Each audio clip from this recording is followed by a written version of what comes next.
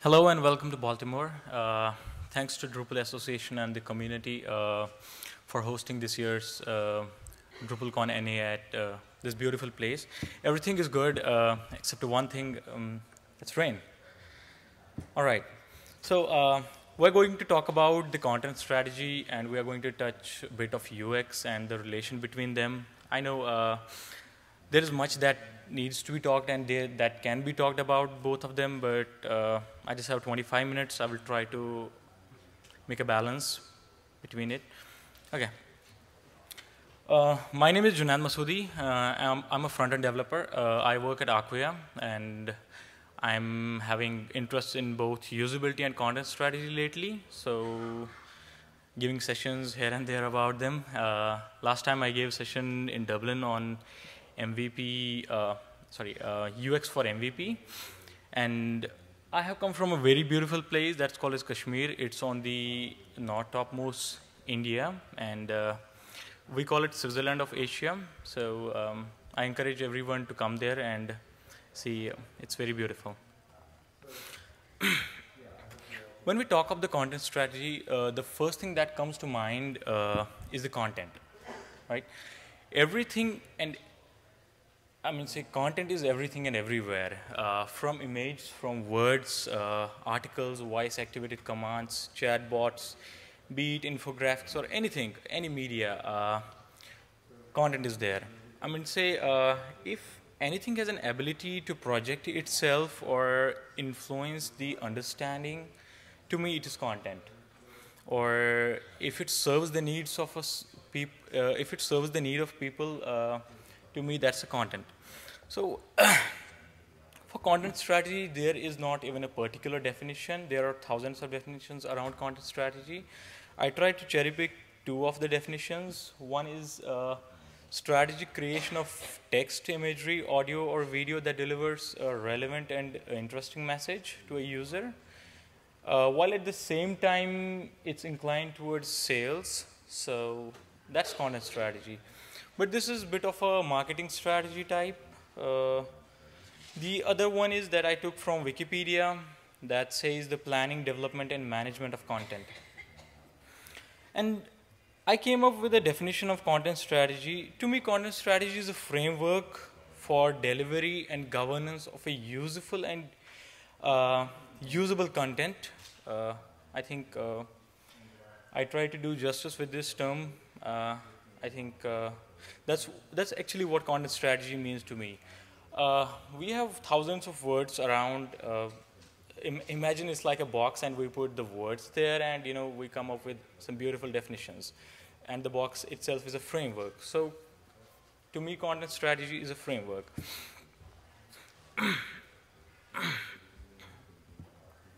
okay. Uh, and this outlines the uh, production of content as a journey from its uh, initial concept of uh, user utilization to the uh, to the end uh, user interaction. So, who are content strategists? it's a relatively new discipline, and there's a plenty of debates of whether there is a need of this title or not. but let's talk actually who content strategists are. When I think of the content strategy, there are several terms that comes to my mind. Uh, one is meaning, accuracy, relevance, usable, and sharing. Anyone can write great content, but that doesn't necessarily mean that he's a content strategist. You know, uh, if you write a good blog or a good Facebook post or a Twitter post, that doesn't mean you're a good content strategist. A content strategist is one who uh, studies and outline the objectives, then undertake them appropriately.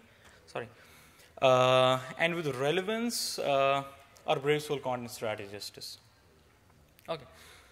Today, content strategy has taken a new curve, a new le learning curve, uh, and is a process that ensures that the content that we publish and then we are able to edit it, then again republish it, then repurpose it, and archive at the same time. It is a process even that uh, plans ahead for content that needs to be appear in the multiple laces. There's a team uh, out there uh, at the Brain Traffic. They have come with uh, content strategy components, uh, which is liked by the community, and they turned the name into content strategy quad. So uh, it's around two things. One is content, another is people. So we write content for people, and people write content. So they are, they are interrelated. So uh, the first thing uh, in this content strategy quad is uh, substance. Substance comes in the content component, and it refers to the message, the voice, and the types of the content. In the second, the second quadrant, which is from the people's, uh, which is from the people's component, it's the workflow. The workflow uh, is a content uh, workflow work. Sorry, the workflow a content strategist creates uh, will explain the process and the tools that we need to edit and create the content, and uh, even maintain and archive the same content. Then the third one is the governance. Uh, governance is very closely linked to the word workflow because the the content we have from we have got from the workflow is to be governed. Uh, there are um, uh, in the uh, sorry, governance is closely uh, connected to the workflow uh, because it refers to the hierarchy of the decision and uh, the decision makers as well as the communication structure within the team. So the content that comes through the workflow goes to the team of people who who tells what needs to be there and what needs to be eradicated. Last and not the least is the structure, uh, which comes in the content component again. content strategies often uh, determine the structure of a content by researching and working with dev teams to select the appropriate technology for a site or an app. Uh, they often set up a metadata or uh, tagging necessary for personalization experiences for seamless experiences. It should be noted that while uh, many content strategists you know, do mastery in one of the four quads, but it is very important that if anyone getting started in this field to understand how four fit together. then we have um, the common methodologies while we talk about the content strategy. Content strategy can impact many aspects of user experience. Uh, the only apparent commonality is that the content strategy deals with content. That said, uh, the methodologies that make up the vary widely. I cherry-picked some of them, and here they are. One is omni-channel. You know, uh, with the advent of iPhone, um, with yeah, with the advent of iPhone, uh, people started to curate content for the web and for the mobile, uh, you know, uh, in different forms. Uh, before that, it, it was a, it was the same con it was the same content that we used to govern for mobile devices or you know um, the desktop devices. Then the there comes the concept of uh, omni-channel. It's the understanding and optimization for the entire journey acro across all channels. That you know we need to show, be it a desktop, be it a mobile, be it a tablet, or any other thing, even if it is a print media. So then the other term is planning and marketing. Uh, the first definition that I came uh, that I gave about content strategy uh, was related to the marketing strategy because everything you know governs around the marketing strategy. So yes, this is one of the methodologies that we need to keep in mind. While content uh, strategies focus on the content that creates an experience uh, rather than how to market that experience, there's a lot that uh, we have learned from the field of marketing. And the third one is uh, content governance. Since the content strategist has the uh, big picture view of the publishing process, editorial guidelines, and the omni-channel needs, they are uh, in the best position to recommend and uh, recommend a governance model that maintain the quality of the experience. Then uh, we have an information architecture. Well, information architecture is not a methodology. Uh, it will be very injustice to say it is a methodology. It is a field in its own. Contents, even content strategy uh, uh, borrows the learning from the uh, information architecture. In order to prioritize the content, create navigable sitemaps, and ultimately help users find the information that they need in the places where they want that. And then there is the core strategy. Uh, core strategy means, uh, for some of the content strategists, core strategy means everything. And for others, it means a process. And uh, and for others, it means a process. Uh, a process of creating a core strategy is also task in itself. When, um, if this is the case, if uh, content strategy thinks that this is one of the common methodology, then the content strategy uh, work results in the content strategy report, uh, which identifies content issues, recommendation priorities, and future uh, timelines to update the content structure and substance. Last, not but the least, is the branding. Uh, because our whole of the user experience and content strategy revolves around this thing, so branding is the last thing, but it needs to be there from the very beginning. so then, uh, user experience. Uh, while we talk of the content uh, strategy, we talk of the user experience as well. So for me, user experience means uh, user experience is the language of UI, actually. It communicates and it tells us about the UI. In, uh, the UI can't speak on its own, so we have the user experience that tells about the content strategy. Um, sorry, UX. Uh, user experience is a broad category uh, which encompasses all aspects of production from a small button design to the caption up to the navigation. It is also present in a very uh, stage of product development to create a very smooth uh, experience for the target audience. In my opinion, UX has to be there from the very beginning. Uh, in my previous talk where I spoke about uh, user experience has to be there from the uh, very beginning when we are creating a minimum viable product. So I think uh, content strategy too has to be there. And yeah. UX heroes Nielsen and Norman stated it the best. In order to achieve a high quality user experience in the company offerings, there must be seamless merging of the services from multiple disciplines, be it technology, uh, be it engineering, be it marketing, be it graphical, be it industrial design or interface design. Uh, because user experience is the vo voice of end user. Now, uh, where the relation is, between the UX and the content strategy. Though uh, user experience and content strategy seem to have similar goals, there's a much conflict uh, when it comes to the actual ex execution.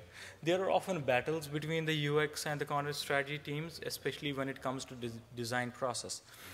Sometimes uh, even adding the two extra lines can be a burden for whole of the, uh, you know, um, for the design and, you know, it can break whole of the design. So while we are designing anything, it, it's must needed that the content strategy should be there. So, but if, yeah, if we have user experience and content strategies work together, the synergic effect is much greater than simply resolving conflict, right? Yeah. Where content strategy is being benefit from UX and where UX is being benefit from content strategy. So, first thing is clarity and readability. User experience is all about creating sleek and seamless user flows, keeping user experience clear but delightful. Uh, the same can be uh, applied to the content we deliver. Uh, that doesn't necessarily mean uh, shortening of text or shortening of content, but make it more readable and more scannable. So this is th th this is the place where content strategy and UX help each other. The second thing is focus on a user and it's the most important thing. Content strategy can be benefited uh, from applying the most important principle of the UX that is putting the uh, user at the center. So, uh, so we get, uh, sometimes we get carried away by content research and copywriting that we completely forget that who we are addressing the, uh, and who our audience is.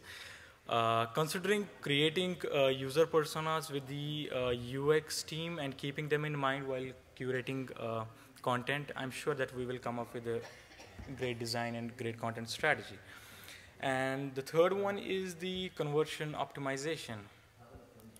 Here, uh, where content strategy comes in handy, it helps find the optimal voice tone messaging to the boost to boost conversation. So there is a simple example uh, that I want to show how content strategy and UX go hand to hand. So here everything is strategized, the content is strategized. This is our uh, heading uh, that tells about us the session. This is the author name that has to be there. This is whole of the content that's uh, there that tells about what session is all about. And this is the sidebar that gives us more information about the session. And this is, uh, yeah, this is the gap. It's not shown. So I think we can do, you know, some of the, see, uh, content strategy is already there, but I feel that there is a discard in uh, UX there. I did a small change and made it like this. So there is a spacing problem firstly uh, that has to be there because when we uh, uh, strategize some content, so uh, we have to create the breaks between the content, what a user is seeing. And the other thing is uh, the sidebar. While see, uh, if we see at the sidebar, it has the dark colors and the focus of the user goes there only. So while keeping the main content there. So we need to keep that also in mind while we are creating uh, some of the user experiences. So I think, yeah. Lastly, uh, but this is important, this is out of the session uh, that uh, I am closely touched with this thing, that's dementia. Dementia is a disease that's uh, taking 30% um, of the population this time, uh, and it's growing alarmingly. Uh, who knows about dementia? Any? Okay. So uh, it's a brain disease, a degenerative disease, uh, and uh, people are getting, you know, affected with this. The top disease, among dementia, there are Parkin Parkinsonism, and the top disease is the Alzheimer's. And this is one of the, you know, quotations that's very close to my heart about Alzheimer's. I have three Alzheimer's patients at home, so I know how it feels like to be. So we need to help the alz.org. Uh, so if we can. So these are our contribution sprints. And if you think anything about this session, so please tell me. Do you have any questions?